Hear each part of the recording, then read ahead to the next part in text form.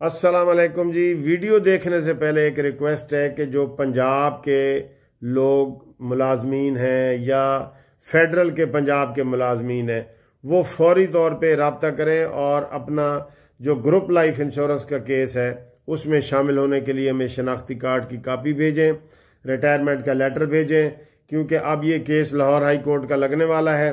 इस्लामाबाद में फेडरल का केस जो है वो तेरह तारीख को फाइनल बहस के लिए लगा हुआ है। तो ये पाँच, छह साल के बाद केस लग रहे हैं। अगर आप भी उसमें शामिल होना चाहते हैं तो फौरी तौर पे ये कागजात भेजें। आपको थोड़ी सी फ़ीस भी हम बता देंगे। ये बहुत लाजमी है। सबसे पहले उन लोगों को पैसे मिलेंगे जो केस कर रहे हैं। जब कानून बन जाएगा, वो सब के लिए होगा। इसलिए आप इंतज़ार में ना रहें और मैंने जो टेलीफोन नंबर दिया उसके ऊपर रबता कायम करें और अब ये देखें वीडियो। अस्सलाम जी जनाब आली। फ़िलहाल तो ये है कि जीपा आ गई कचहरियों खाली ते सजन कैद हो गई। एडे मिनता तरले कर रहे ने और ज़रूरत की है यहो जी तरमीम दी। हाय हाय हाय हाय हाय हाय। सर जी क्या बताएँ आपको? मौलाना फजल रमान के घर में एक मेला लगा हुआ है। आप यकीन करें, हकूमती टीम मुलाकात कर रही होती, बाहर दूसरे गाड़ियों में बैठ के इंतज़ार कर रहे थे वो जो ही निकलते हैं तो आप इस वक्त कह रहे हैं कि तीन घंटे से बिलावल हाउस, बिलावल जो है, वो मौलाना के कदमों में पड़ा है। मौलाना को धमकी भी दी गई है। मैं असल वजह भी आपको बताता हूँ आज, मौलाना साहब को। ये सर मौलाना के घर के बाहर कैंप लगा दें। दो कैंप लगा दें। अपोजिशन का कैंप और हुकूमत का कैंप। ठीक है? उसे मौलाना साहब सब एक देख पका लें खाना शाना भी खवान। भाई, ये क्या तमाशा है भाई? दुनिया में कभी ऐसा हुआ है? दुनिया में कैसे ऐसे हुआ है? और जितने ये अभी अता तारण ने प्रेस कॉन्फ्रेंस की है हनीफ अब्बासी ने की है और उन्होंने कहा जी कि हमने इमरान खान को मिलने की खसूसी इजाज़त दी है। जिन्हें मर्ज़ी मिलो, मिल लो इमरान को हाँ करा के आओ। तो इमरान ने कहा, ना निकी जी हाँ नहीं, वड्डी जी ना। बात यह है, सर जी, हम कुड़ कुड़ के भी थक गए हैं और अपना ब्लड प्रेशर हाई कर करके भी थक गए अब हम इजी वे में आपको बता रहे हैं। सर, मौलाना के घर जो है ना लुटियाँ पाई जा रही हैं और मौलाना साहब, समझ नहीं आ रही कि वो इधर ने या इधर ने। सर जी, जो सही बंदा होता है ना, यकीन करो वो एक तरफ़ खड़ा हो जाता है। मैं इधर हाँ भाई। अब क्या हुआ है, मैं आपको बताता हूँ। मौलाना फजल अंदर की बात बता रहा हूँ। मौलाना फजल के सारे एमएनए सारे सेनेटर वो पार्टी के खिलाफ वोट देने को तैयार है। मैं आपको बता रहा हूँ, अंदर की बात बता रहा हूँ। और मौलाना साहब इसलिए कल गुस्से में भी आए।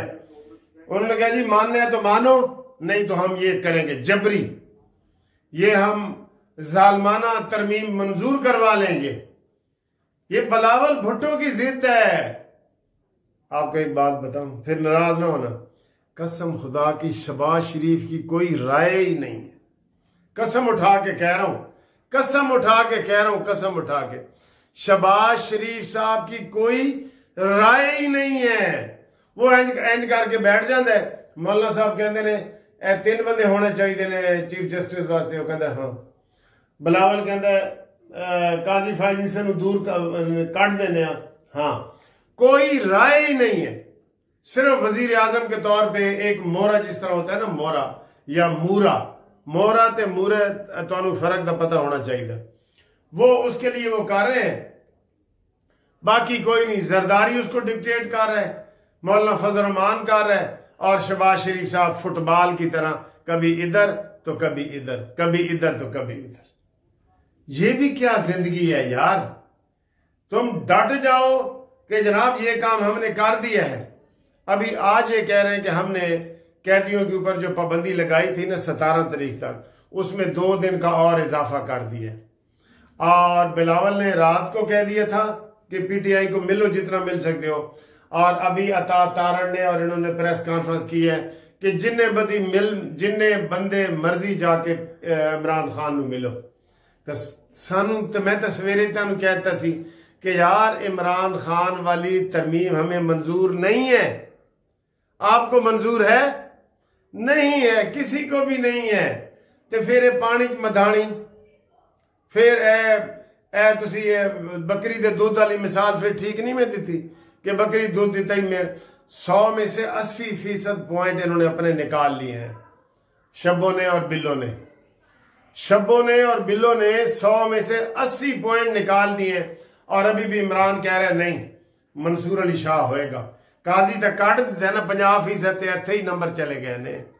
काजी उन्होंने कहा जी काजी का ना ही ना लेना जिस तरह जरदारी साहब ने शबाज शरीफ से शुरू में जब इलेक्शन जीते ना जरदारी ने कहा दो गवर्नर ते सदर मैं ते है ही है ना बाकी आओ मुजाकरात करिए कसम खुदा की मुझे कहानी याद आ रही है अगर आप इजाज़त दें कहते ये ये कहानी है पीपल्स जरदारी की और शबाज शरीफ की शराकत की कहते जी दो दो गिद्दड़ सन जी उन्होंने शेर नाल बिजनेस पार्टनर बन गए शेर दे वैसे इतफाक से शेर इधर शेर का होर रोल है उधर हो रहे उन्होंने कहा जी आओ जी ए बेरी तो बेर खाने हो शेर ने कहा ठीक है जी ਤੁਸੀਂ ਕਹਿੰਦੇ ਜੀ ਉੱਤੇ ਚੜ ਕੇ ਨਾ ਗਿੱਦੜਾਂ ਨੂੰ ਕਿਹਾ ਕਿ ਉੱਤੇ ਚੜ ਕੇ ਬੇਰ ਨੂੰ ਹਿਲਾਓ ਤੇ ਥੱਲੋਂ ਜਿਹੜਾ ਨਾ ਮੈਂ ਬੇਰ ਇਕੱਠੇ ਕਰਾਂਗਾ। ਉਹਨੇ ਕਿਹਾ, ਠੀਕ ਹੈ ਜੀ ਬਿਜ਼ਨਸ ਬੜਾ ਚੱਲੇਗਾ।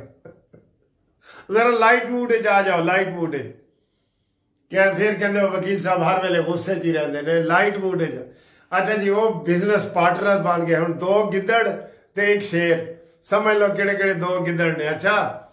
ਤੇ ਇੱਕ ਸ਼ੇਰ। ਉਹ ਤੋਂ ਜਨਾਬ ਉਹਨਾਂ ਨੇ ਐਨ ਕਰਕੇ ਬੇਰੀ ਨੂੰ ਹਿਲਾਇਆ, ਥੱਲੇ ਬੇਰ ਆਏ, ਸ਼ੇਰ ਨੇ ਸਾਰੇ ਇਕੱਠੇ ਕਰ ਲਏ। ਉਹਨੇ ਗਿੱਦੜ ਨੇ ਆਵਾਜ਼ ਦਾ ਬੇਸ਼ੇਰ ਨੇ ਆਵਾਜ਼ ਤਾਂ ਜਾਓ, ਗਿੱਦੜੋ ਥੱਲੇ ਉਤਰੋ। ਇਹ ਜਿਹੜਾ ਨਾ ਹਿੱਸੇ ਬਖਰੇ ਕਰਨੇ ਆ। ਉਹਨੇ ਕਿਹਾ, ਹਾਂ ਜੀ, ਕਰਨੇ ਐਡੇ ਢੇਰੀ ਹੋ ਗਈ ਬੇਰਾਂ ਦੀ ਨਾ। ਉਸਨੇ ਦੋ ਹਿੱਸੇ ਕੀਤੇ, ਸ਼ੇਰ ਨੇ। ਉਹਨੇ ਕਿਹਾ ਜੀ, ਇਹ ਅੱਧੇ, ਇਹ ਤੁਹਾਡੇ ਤੇ ਅੱਧੇ ਮੇਰੇ। ਗਿੱਦੜ ਬੜੇ ਖੁਸ਼ ਹੋਏ ਕਿ ਯਾਰ ਸ਼ੇਰ ਤਾਂ ਬੜਾ ਅੱਛਾ ਹੈ। ਉਹਨੇ ਕਿਹਾ, ਠਹਿਰੋ ਠਹਿਰੋ, ਹਾਲੇ ਫਾਈਨਲ ਨਹੀਂ ਹੋਇਆ। ਹਾਲੇ ਇਹ ਅੱਧੇ ਤੁਹਾਡੇ ਤੇ ਅੱਧੇ ਮੇਰੇ। ਹੋ ਗਏ ਨਾ? ਕਹਿੰਦਾ ਹੁਣ ਜਿਹੜੇ ਅੱਧੇ ਤੁਹਾਡੇ ਨੇ ਨਾ, ਉਹਦੇ ਵਿੱਚੋਂ ਮੈਂ ਚੁੱਕੇ ਜੰਗਲ ਦਾ ਬਾਦਸ਼ਾਹ, ਮਜ਼ੀਦ ਅੱਧੇ ਮੇਰੇ। ਤੇ ਬਾਕੀ ਹੁਣ ਇੱਕ ਹਿੱਸਾ ਰਹਿ ਗਿਆ ਉਹਨਾਂ ਦਾ। ਠੀਕ ਹੈ? ਫਿਰ ਸ਼ੇਰ ਨੇ ਕਿਹਾ ਜੀ, ਜਿਹੜਾ ਚੌਥਾ ਹਿੱਸਾ ਤੁਹਾਡਾ ਰਹਿ ਗਿਆ ਨਾ, ਇਸ ਚੋਂ ਅੱਧੇ ਮੇਰੇ, ਉਹ ਇਸ ਵਾਸਤੇ ਕਿ ਥੱਲੇ ਮੈਂ ਬੇਰ ਚੁਣੇ ਸਨ ਤੇ ਮੈਨੂੰ ਕਾਂਟੇ ਲੱਗੇ ਸਨ। ਕਾਂਟੇ ਚੁਬਾਈ, ਇਹ ਅੱਧੇ ਮੇਰੇ ਕਾਂਟੇ ਚੁਬਾਈ।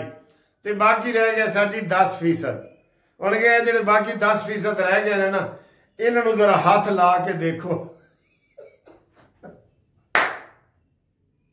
ਇਹਨਾਂ ਨੂੰ ਹੱਥ ਲਾ ਕੇ ਦੇਖੋ, ਮੈਂ ਤੁਹਾਨੂੰ ਦੱਸਣਾ। ਉਹ ਜਨਾਬ ਗਿੱਦੜ ਵਿਚਾਰੇ ਦੁਮ ਦਬਾ ਕੇ ਨਸ ਕੇ ਚਲੇ ਗਏ। ਇਹ ਇਹ ਬਿਜ਼ਨਸ ਹੋ ਰਿਹਾ ਹੈ ਸ਼ਬਾਜ਼ ਸ਼ਰੀਫ ਦਾ ਤੇ ਜ਼ਰਦਾਰੀ ਦਾ। ਜ਼ਰਦਾਰੀ ਨੇ ਕਿਹਾ, ਦੋ ਗਵਰਨਰ ਮੇਰੇ ਪਾਸੇ ਤੇ ਰੱਖ, ਇਹ ਆਈਨੀ ਸਾਰੀਆਂ ਸੀਟਾਂ ਪਾਸੇ ਤੇ ਰੱਖ।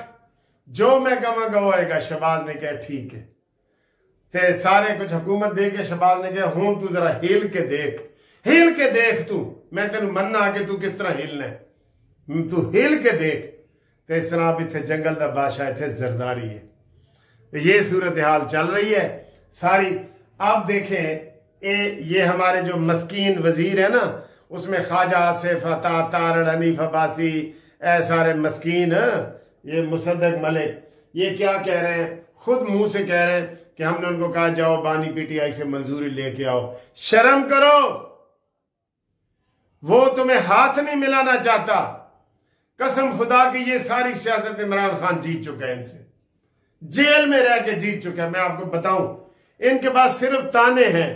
आपने हमें गिरफ़्तार किया था, हमजा को किया था, मरियम को किया था ये।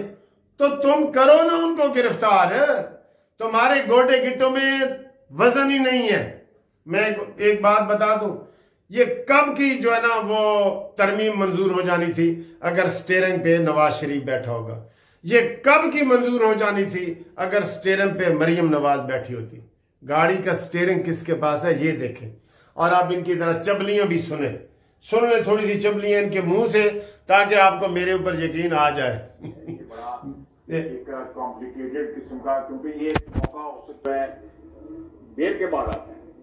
तो सारी पार्टियों का मतलब होता है, जो जिनके कोई तहफात होते हैं, या कानूनी या आइनी मफादात होते हैं, सूबाई जो है, मफादात होते हैं, उनको मद्देनजर रख के वो चाहेंगे कि भाई इसमें कुछ चीज़ें इंक्लूड हो जाएँ, कुछ चीज़ें एक्सक्लूड हो जाएँ, उसकी वजह से देर लग रही है।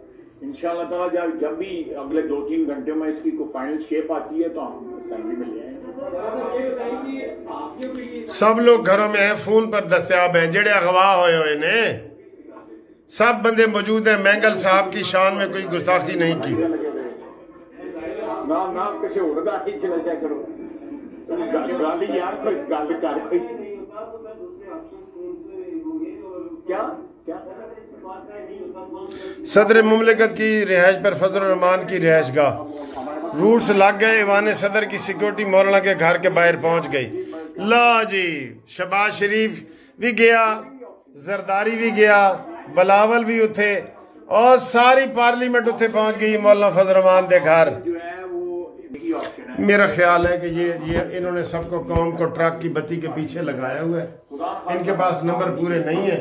इतनी मिनते क्यों मोलना कर रहे हो? मैं आखिरी अपील करना चाहता हूँ, आखिरी अपील। करूँ? आपकी इजाज़त है, आखिरी अपील कर दो। हाफिज साहब किथे हो हाफिज साहब? थोड़ी ज़रूरत पै गई है हाफिज साहब।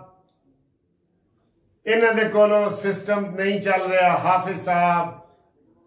इन्हों को बंदे नहीं इकट्ठे हो रहे हाफिज साहब। इन्हों को हुकूमत नहीं चल रही, हाफिज साहब।